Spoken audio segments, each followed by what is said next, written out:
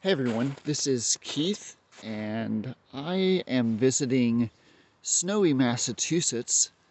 It's a few days after their latest snowfall up here in the northern, northeastern part of our country. I've left Tennessee and I'm on a bit of an adventurous road trip right now. Uh, what I'm doing in Massachusetts, I'm learning quite a bit about slate gravestones grave markers, the inscriptions, the way the gravestones are made, and also a lot about the geology of the stones. So I'm learning quite a bit about bedding planes of uh, sedimentary rock, so shale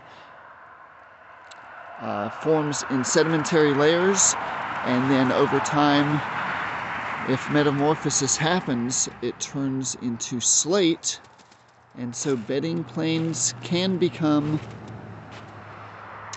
foliated planes. And so I'm learning a lot about the geology of slate and how it is used as grave markers.